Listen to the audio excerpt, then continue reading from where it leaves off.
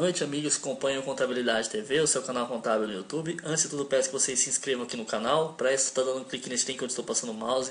É muito fácil é gratuito, com apenas um clique. Você tem acesso a várias questões comentadas, reportagens, material totalmente gratuito. Para estar se dando para exame de suficiência, está se dando bem na carreira de contador, de técnico, enfim, na área de contabilidade, aí está se tornando uma fera. É, vamos estar resolvendo hoje uma questão aí do exame de suficiência de técnico. A prova 1 lá do ano de 2011, questão número 5. O assunto é folha de pagamento, né? Vamos estar resolvendo ela juntos. Uma empresa elaborou folha de pagamento, que será paga até o quinto dia do mês subsequente, e enviou para ser contabilizada. A folha continha os seguintes dados: descrição, remuneração dos empregados no valor de 100 mil reais, INSS retido segurados no valor de 11 mil reais, INSS patronal 20 mil reais.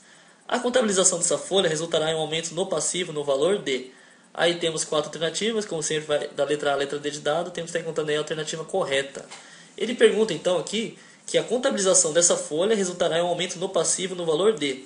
Então, o nosso passivo, a conta ali salários a pagar, né, o passivo, vai aumentar em quanto? Então, a questão é muito fácil, é só a gente estar pegando aqui a remuneração dos empregados, no valor de 100 mil reais, e somando com o INSS patronal, de 20 mil reais. Portanto, aí gabarito letra C, de contabilidade, né, o valor é 120 mil reais. Aí você te pergunta, é, pergunta, por que, que INSS retido dos segurados não?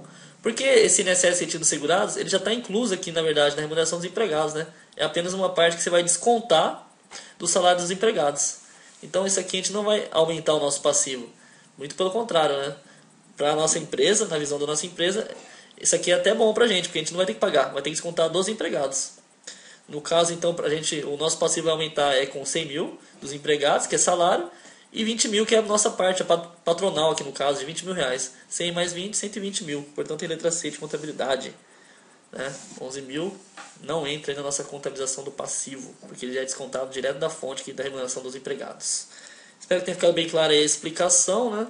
É, se ficou alguma dúvida, peço que vocês enviem e-mail para o contabilidade.tv@hotmail.com. Vou ter o maior prazer em respondê-las. Também peço que vocês cliquem nesse link para estar se inscrevendo no canal. É muito fácil, é gratuito, com apenas um clique. Você tem acesso a várias questões comentadas, passo a passo, exame de suficiência de técnico e de bacharel, para estar estudando aí para a prova e estar se dando bem na carreira de contador.